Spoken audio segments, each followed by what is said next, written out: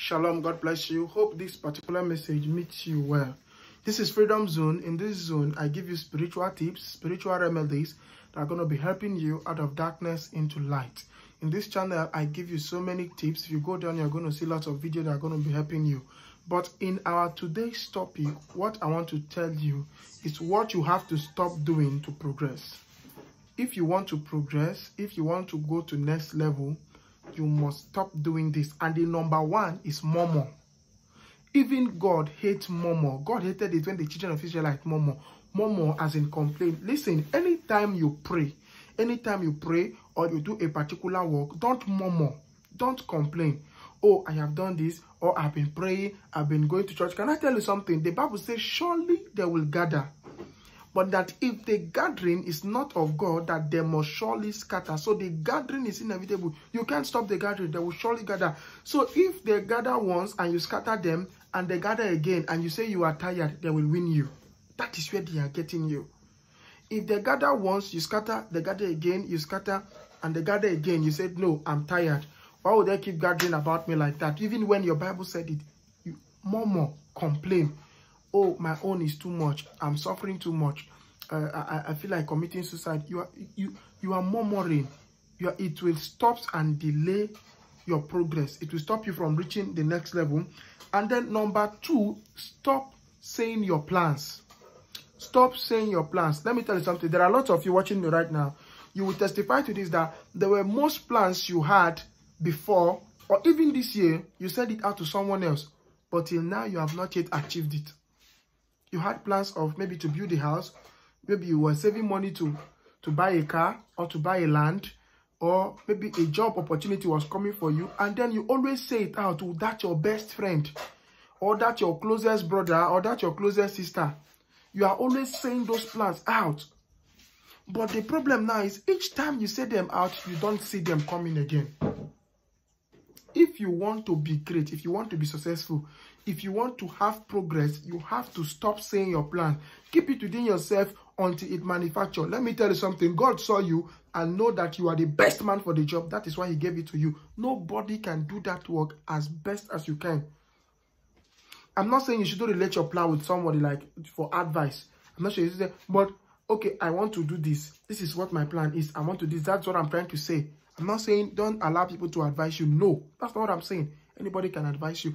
But in a situation whereby before you take a step, you have already said it out to everybody. And later on, you maybe somebody promised you money, maybe a million. And then before the money comes, you have told your wife, you have told your children, you have told your friend, oh, I'm expecting a million by month end. And once it comes, I'm going to do this. And later on, the person turns you down. Not everybody is happy for your next level. Not everybody is happy to hear that something great is about to happen in your life. Do you know that people, human being spirit is very powerful? So if you want it to manifest, keep it within yourself. Don't take it out. Just hold it, keep it within yourself and watch as it grows. Don't allow don't allow anybody to come and, and know your plan. Even if they try to ask you, tell them it's well and see how things are going to be going well in your life. Then our number, our number three here, stop giving the devil chance in your life. Stop giving the devil chance. Somebody will now ask me, um, Apostle, how can I give the devil chance? You can give the devil chance by speaking him into your things. Being negative. Oh, my own is finished. I know they will sack me from this job. I know my manager does not like me.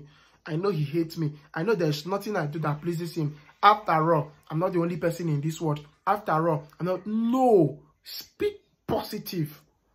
Be positive about your life. I am a child of God. I am his resurrection. I am the light. No power formed against me shall prosper. When you wake up, speak positive things about yourself. I am going there. I don't know how it's going to happen. I don't know what is going to happen. I am going there. The, let me tell you something. The shocking miracle in Ezekiel 37 didn't happen by him doing anything. It happened by a spoken word. He said, and I was carried in the spirit to the valley filled with dry bones. And it caused me to walk round about them. And it say, he said, what do you see? Yes, I see bones. They're very dried.